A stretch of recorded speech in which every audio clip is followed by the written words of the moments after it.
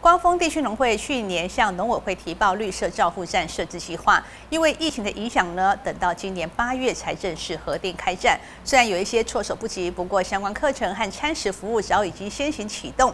而农会也花费了一百三十多万元，将推广部旁边的谷仓建筑空间重新调整利用，希望可以提供农村长者安全又舒适的共学共食环境。防疫期间，计划核定来的突然，措手不及的光丰地区农会暂时使用家政班研习教室开展上课。但是，即便如此，各项体验 DIY、运动等学习课程以及餐食服务都不马虎。阿公阿妈们认真上课，快乐学习。计划业经农委会核定了哈，一百一十年核定了哈，目前都在陆续执行当中。第一个，从我们的教室的改善了哈，针对里面的无障碍厕所了哈。场地的整个环境的的整理哈，也都在做。二零二零年农委会绿色照护站计划元年，光丰地区农会也积极提报计划来争取，无奈受到疫情冲击，直到今年八月才正式核定开战。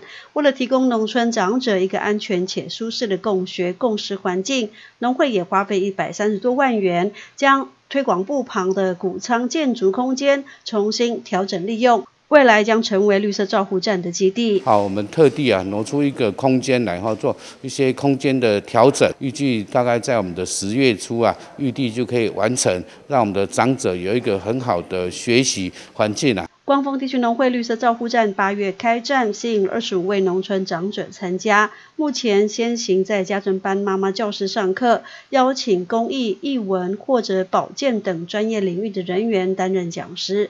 上了五堂课下来，长者们都相当喜欢。总干事张明发表示，绿色照护站基地目前正积极赶工整治，预计最快十一月份就可以完工。届时，长者们就可以在安全舒适的环境中共学共。记者石玉兰光复采访报道。